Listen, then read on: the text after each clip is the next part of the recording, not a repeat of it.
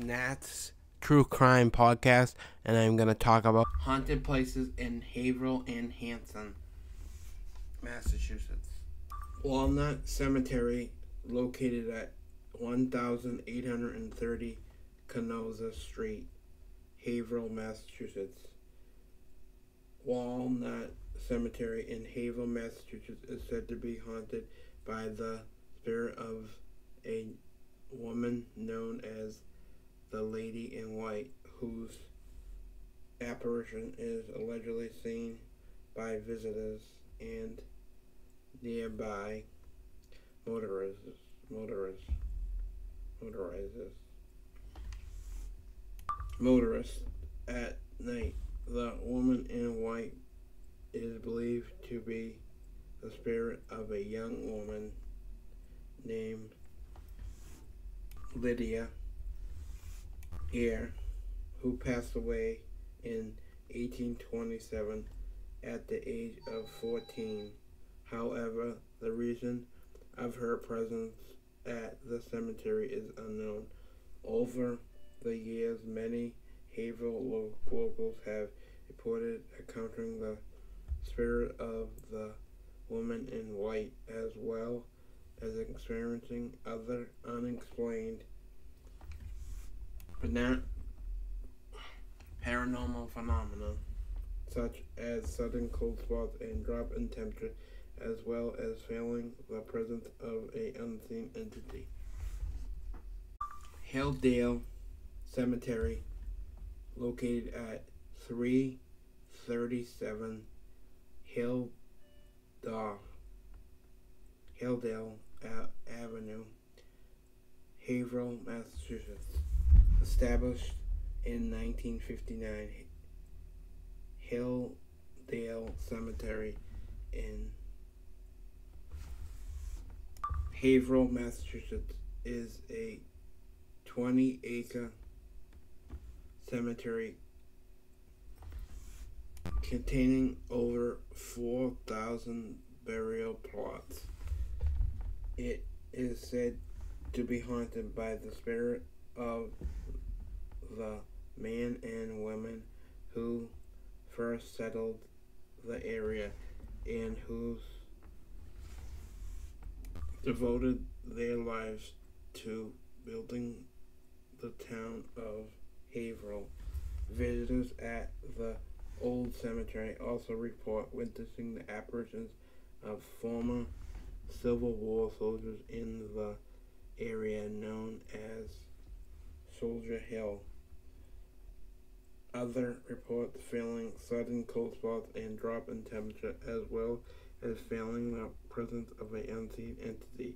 In the early 2000s, a non-profit organization called Hilldale Cemetery Association was found for founded the restore the cemetery and repair damage stained after it was abandoned during the early 1900s. Also, American Civil War ghosts, folklore, and encyclopedia. Plymouth County Hospital, Hanson Tuberculosis Hospital, located at 266 High Street and Country Institution Road, Hanson, Massachusetts. Plymouth County Hospital in Hanson, Massachusetts was established in 1919 as Hanson's Tuberculosis Hospital, which was re removed, renowned as the time of its state of the art children's ward. It is sometimes also referred to as the Cranberry Specialty Hospital. In 1965, the hospital was redesigned for use as a senior living facility, which closed in 1992 due to financial difficulties. Over the years, rumors been to spread that the old hospital was haunted by a the spirit of home tuberculosis patients who died slow, painful deaths. Many patients were also subject to painful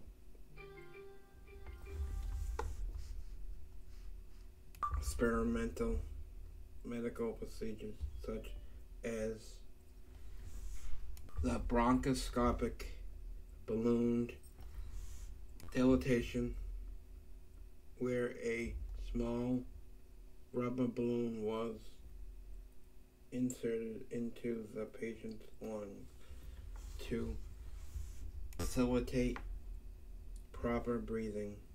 Those brave enough to enter the decaying building buildings of Plymouth County Hospital have reported witnessing apparitions and shadow figures as well as hearing the sounds of disembodied voices, with whispers, and screams. Other witnessing hearing the sounds Oh, of children laughing. Laughter. As well as experiencing sudden cold sweats and chills. Urban explorers also put objects such as rocks and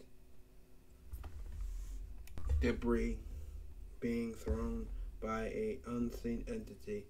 The Plymouth County Hospital was torn down in 2007 after a series of fires destroying most of the remaining buildings. However, many still believe that surrounding location to be haunted. Thanks for watching my podcast. Please like, subscribe, and comment.